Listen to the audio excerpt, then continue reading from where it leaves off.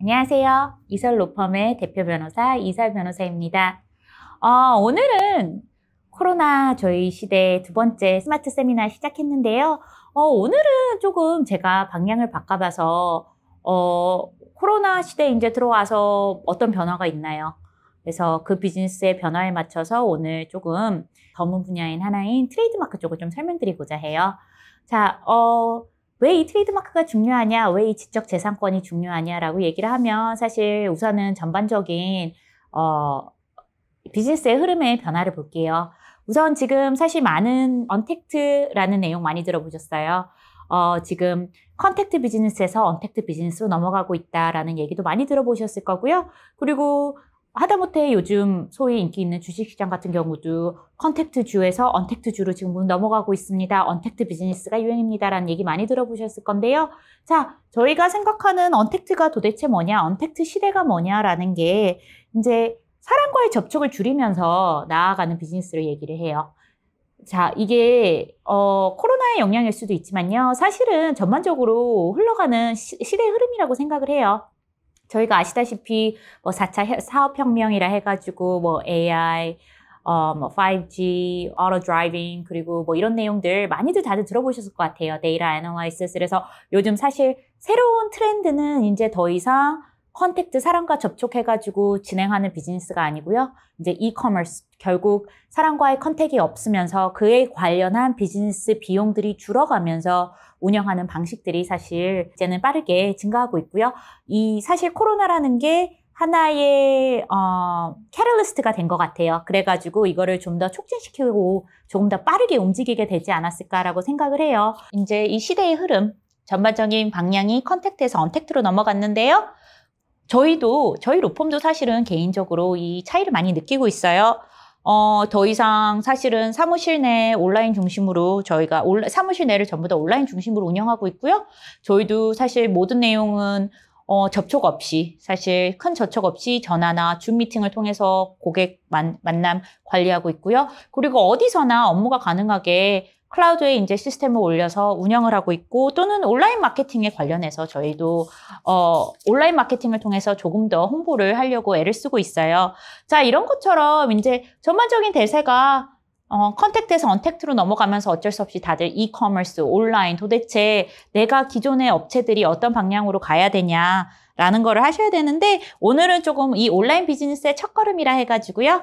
어, 조금만 이제 온라인 비즈니스 시작하기 전에 유의하셔야 할 부분을 조금 말씀을 드릴게요. 네. 자, 그래서 오늘 이제 미국 비즈니스 중에서 특히 온라인 비즈니스 한 번 정도 많이 생각을 하셨을 것 같은데요. 사실 한국 어, 상품들이 인기가 굉장히 좋아요. 어, K-뷰리라고 해가지고 한국 화장품도 사실 인기가 상당히 좋고요. 그리고 어, 뭐 요즘 사실 대세, 대세인 뭐 BTS 이런 쪽을 통해서 사실은 한국 문화나 한국 상품들이 지금은 많이 대중화가 되면서 사실 한국 비즈니스가 미국에서 온라인 쇼핑을 통해서 어, 성공한 쇼핑몰도 많아지고 그리고 실제로 아 실제로 아마존 같은 거, 경우에 들어가시면은 한국 제품들도 많이 찾으실 수가 있으세요. 자 미국에서 한 번이라도 내가 온라인 쇼핑이라든가 온라인 쇼핑몰이라든가 아니면 온라인을 통해서 나의 상품 판매를 생각을 해보셨다면요.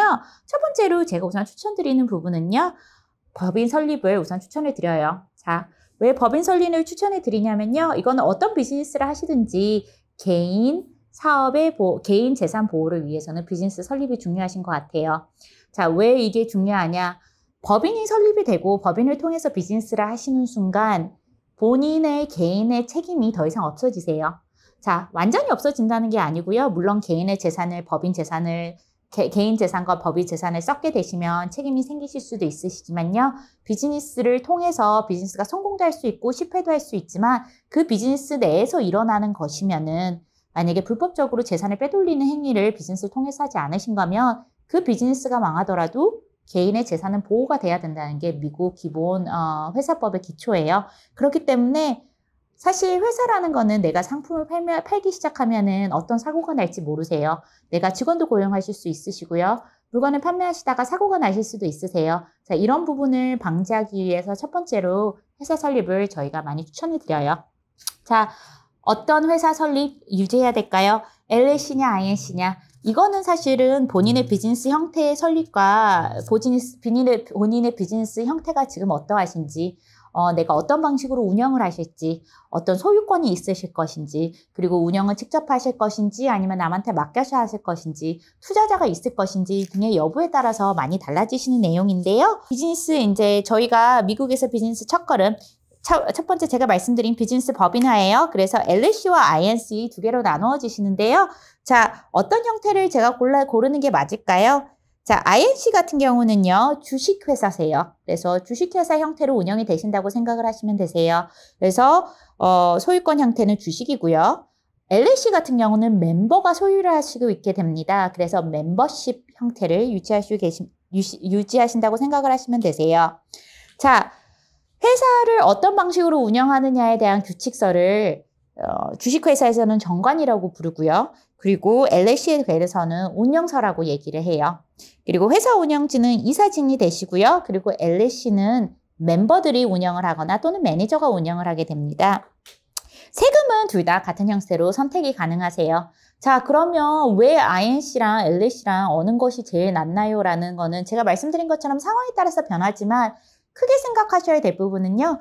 LLC 같은 경우는 주인과 일반적으로 소유주, 소, 즉 소유주와 운영진이 일반적으로 같은 형태를 띠는 경우가 많습니다. 그래서 간단한 운영 방식을 원하신다면 일반적으로 LLC를 저희가 많이 추천을 드리고요. INC 같은 경우는 이사진을 통해서 소유주와 이사진, 즉 방향을 제시하는 이사진, 실제 운영을 하는 뭐 CEO, 오피서들과 별개인 경우가 종종 있습니다. 그래서 이를 이 별개성을 통하여서 어, 회사 운영을 내가 직접 참가하지 않아도 회사 운영이 매끄러울 수 있게 어, 유지하는 형태들을 많이들 띄고 있으세요. 그러다 보니 아무래도 간단한 형태인 LSC 형태를 많이 띄고, 어, 간단한 운영을 원하시다면 LSC 형태를 많이 추천드리고 있는데요. 사실 이 부분에 대해서 제가 너무 깊게 들어가지는 않을게요. 이 자체만 사실 제가 하루 세미나를 할 수도 있어요. 그래서 제가 조금 더 이런 부분에 대해서는 조금 더 자세히 알려드리고요. 어, 기회가 있을 때 제가 조금 더 자세히 알려드리고요. 자, 우선 비즈니스 법인화를 끝내시고 나시면요. State Tax ID 및 연방 아이디 번호를 취득하셔야 되시고요. 그 다음에 직원 고용 시 좀 고려할 점들 생각을 해보시고요. 그리고 어, 내가 비즈니스를 어떻게 운영하실지 조금 고려를 한번 해보시는 게 좋으실 것 같습니다.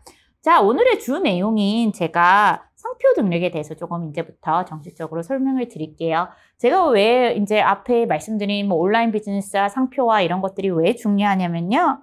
어, 우선은 상표가 뭔지부터 알아보고 제가 조금 더 말씀을 드릴게요. 제가 우선 한 가지 말씀드리고 싶은 거는 상표가 이제는 아마존 판매라든가 엣지 판매라든가 샤피파이 판매라든가 이 모든 판매가 본인의 상표권의 소유권을 증명을 하시고 하셔야지만 등록이 가능하시게 준비를 하시기 때문에 사실 이런 과정들이 더 중요해졌거든요. 근데 제가 그 부분은 조금 더 뒤에 가서 말씀을 드리도록 할게요. 자, 우선은 상표 등록 필요한가 안 필요한가? 세 가지 정도를 우선 생각을 해보시면 되실 것 같으세요. 나의 비즈니스는 경쟁이 치열한 비즈니스다. 나의 경쟁, 나의 비즈니스가 경쟁이 치열하실수록 어, 상표 등록은 정말 중요하세요. 두 번째, 내 비즈니스를 키울 수 있는 좋은 방법이 프랜차이즈다. 라는 생각이 드시면 그 또한 이 본인 상표권 등록하셔야 되세요. 그리고 접근성이 쉬운 서비스나 아이템이다. 상표권 중요하십니다. 자, 왜 내가 상표권이 중요하냐? 상표권이 우선 뭔지부터 조금 알아볼게요. 상표권이라는 건요. 자, trademark, symbol, word, or words legally registered, established by use as representing the company or product. 자, 특정 기업의 제품이나 서비스를 소비자에게 식별시키는 역할을 해요.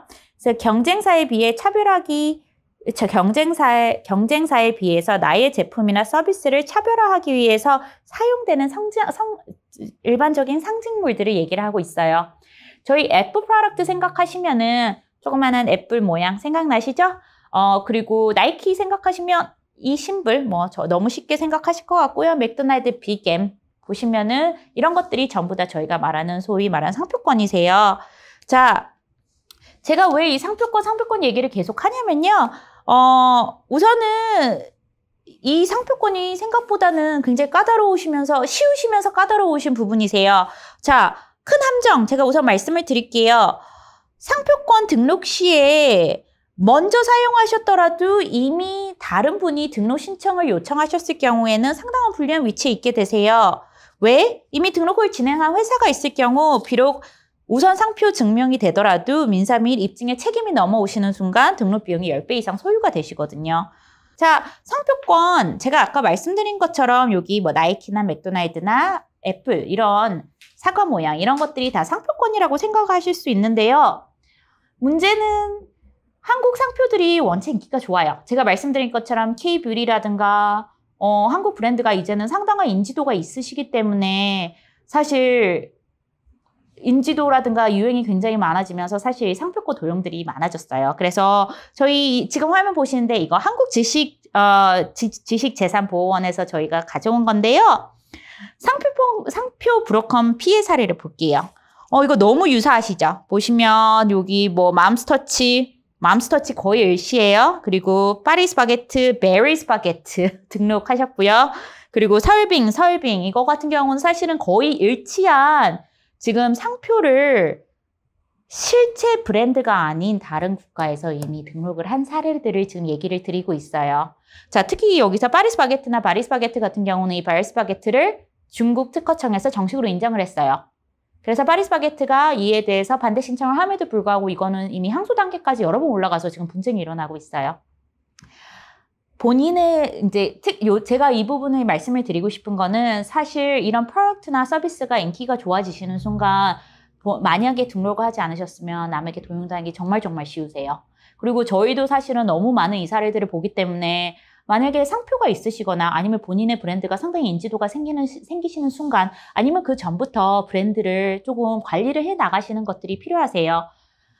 제가 이 부분을 또 강조를 드리는 이유는요, 전반적인 저희 아시아 문화가 사실은 지적 재산권의 인지도가 좀 낮아, 저, 지, 적 재산권의 인지도가 높은 국가들이 아니에요. 동양과 서양계의 큰 분쟁이라고도 생각하실 수가 있으세요. 지금 한국이나 중, 아, 미국이나 중국과의 뭐 트레이드 분쟁 뭐 여러 번 얘기를 하시는데 이 중 사실 큰 부분이 지적 재산권의 부분이세요.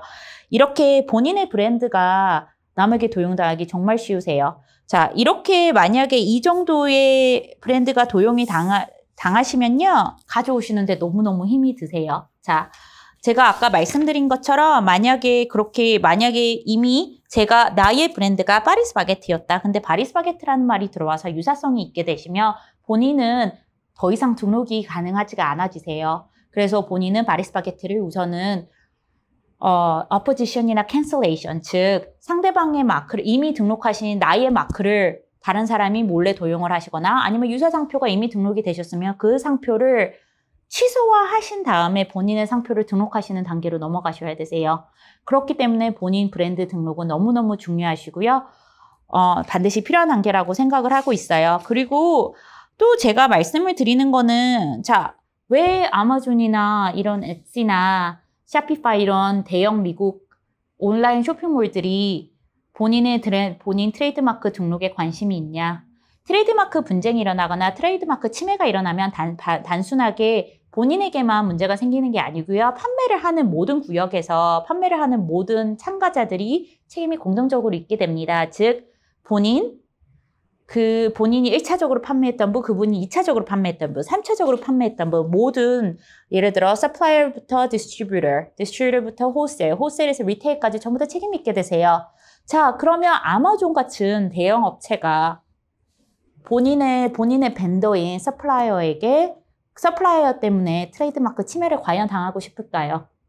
그렇지 않죠? 그렇기 때문에 이 트레이드마크 확인을 먼저 하는 과정들이 설립이 된 겁니다. 자, 이거는 그리고 시대의 흐름이세요. 제가 아까 말씀드린 것처럼 지금 오프라인 비즈니스에서 온라인 비즈니스가 세대, 세대, 시대의 움직임이라고 생각을 하시면 이 트레이드마크의 등록성을 확인을 하는 절차들도 하나, 들 또한 시대의 흐름이세요. 그렇기 때문에 이 부분은 어쩔 수가 없이 변경이 되는 부분, 이 부분은 앞으로 온라인 쇼핑몰이 늘어나면서 자동적으로 요청을 하는 단계라고 생각하시니까요. 너무너무 트레이드마크 중요하세요. 본인의 그리고 또 하나 제가 말씀을 드리고 싶은 거는 오늘 당장 아 내가 오늘 당장 미국 별로 납품할 일 없어. 아, 뭐 한 3, 4년 후에 생각할 문제지. 라고 생각을 하실 수가 있으세요. 얼마 그리고 그 말도 맞으세요. 자, 내가 이제 어떤 비용을 소비하기 전에는 언제나 그런 고려가 있으셔야 되는데요. 그 사이에 누군가가 본인의 브랜드를 가져가실 수가 있으세요. 그리고 많은 기업들이 사실은 저희 사무실에 찾아, 저희 로펌에 찾아오셔서 상담하시는 내용도 그 내용이세요. 아, 히트 상품이 생겼고, 다른, 다른 나라의 수출은 어, 뭐 2, 3년 정도의 생각을 했는데, 어, 저희랑 경쟁 업체가 저희 상품을 이미 등록을 해 버렸네요.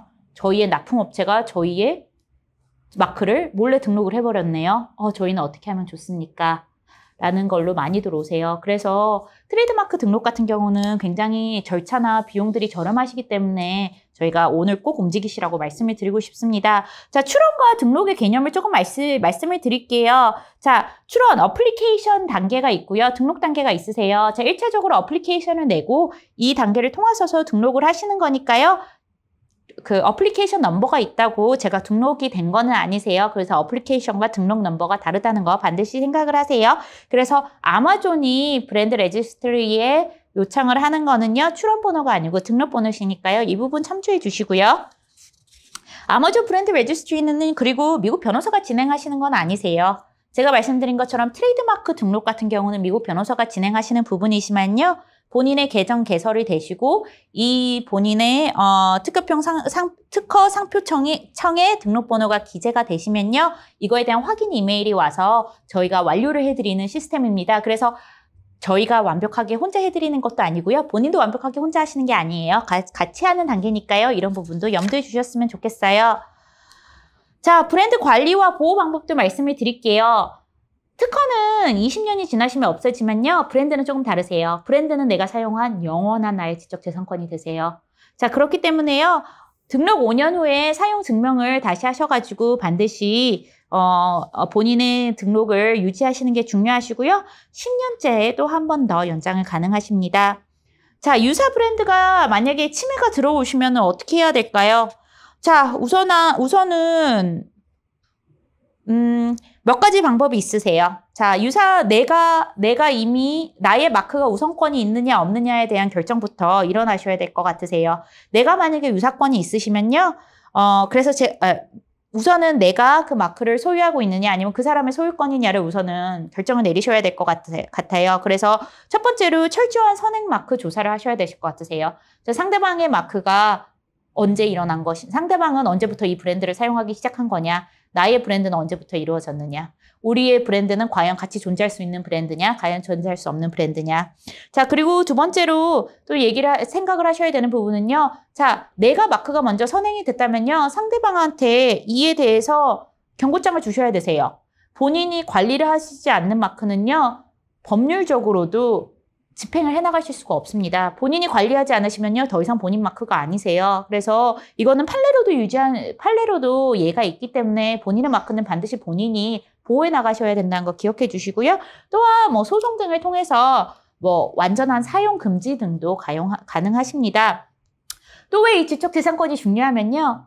어, 우선은 본인들이 만약에 물건을 미국에 수출하시는 방법을 생각을 하시고 계신다면 본인의 브랜드가 미국에 수출 때 아예 custom에서 세관에서 이 부분을 어, 세관 같은 경우, 세관에서 아예 압류나 몰수를 할게, 몰수를 하게 본인의 브랜드를 지켜 나가요. 그래서 미국의 CBP 같은 경우는 지적재산 보호권 지원을 합니다. 그래서 지적재산권 소유자가 만약에 미국 custom에 등록을 하시고 이 부분에 대해서 CBP에 education을 해주시면요. CBP에 아, 나의 이런 마크가 있는데 다른 국가에서 유사 마크, 유사 마크 제품을 만들어서 갖고 옵니다. 아니면 유사 마크 제품들이 있으니 이 부분에 대해서 아예 관세청에서 좀 막아주십시오라고 요청을 하면요. 실제로 압류나 몰수 등을 해가지고 아예 이 제품들이 들어오는 거를 금하실 수가 있으세요.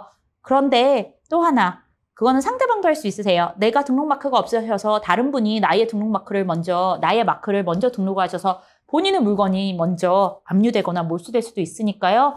이 트레이드 마크는 사실 미국에서는 굉장히 가치성이 너무 높, 높으세요. 그리고 이거는 제가 말씀드린 대로 세대의 흐름이세요. 그래서 이 부분을 빨리 내가 캐치를 하시는 것이 중요하시고요. 나의 브랜드 지켜나가시는 게 너무 중요하실 것 같으세요. 이에 관련한 대한 정보 저희가 조금 더 제공해 드리도록 할게요. 저희 사무실에 어, 연락 주시면요. 이 부분에 관련된 책자 및 저희가 비디오 추가로 제공해 드리도록 하겠습니다. 감사합니다.